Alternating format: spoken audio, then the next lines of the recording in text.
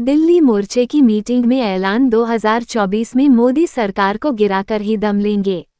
SKM, मई माह से लेकर नवंबर तक का कार्यक्रम जारी। दिल्ली राष्ट्रीय मीटिंग में उठाया गया बंसल समाज रीवा आंदोलन मुद्दा 30 अप्रैल 2023 संयुक्त किसान मोर्चा की दिल्ली स्थित सुरजीत भवन में आयोजित राष्ट्रीय मीटिंग दौरान बड़े फैसले लिए गए संयुक्त किसान मोर्चा संभाग रीवा के संयोजक शिव सिंह ने बताया।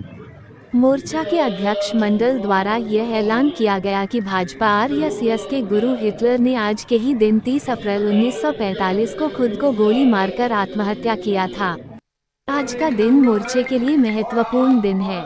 मोर्चे की मीटिंग में बड़े फैसले लेते हुए किसान नेताओं ने कहा एमएसपी कर्ज माफ़ी सरकार द्वारा आदिवासी किसानों की जमीनों का अधिग्रहण लखीमपुर खीरी कांड सहित विभिन्न मुद्दों को लेकर मोर्चे ने निर्णय लिया है।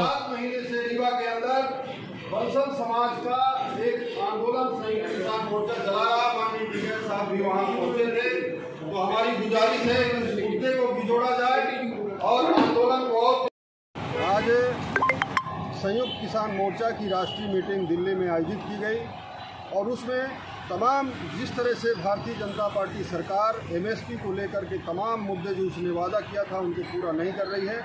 उसको लेकर के आज बड़ी मीटिंग हुई है, तमाम राष्ट्रीय नेतृत्व मौजूद था और ये लगातार अंतिम मई से और नवंबर 2023 तक देश के अंदर संयुक्त किसान मोर्चा के बड़े आंदोलन चलेंगे, जिसके लिए आज बड़ी रणनीति जो है दिल्ली के अंदर तैयार की गई है।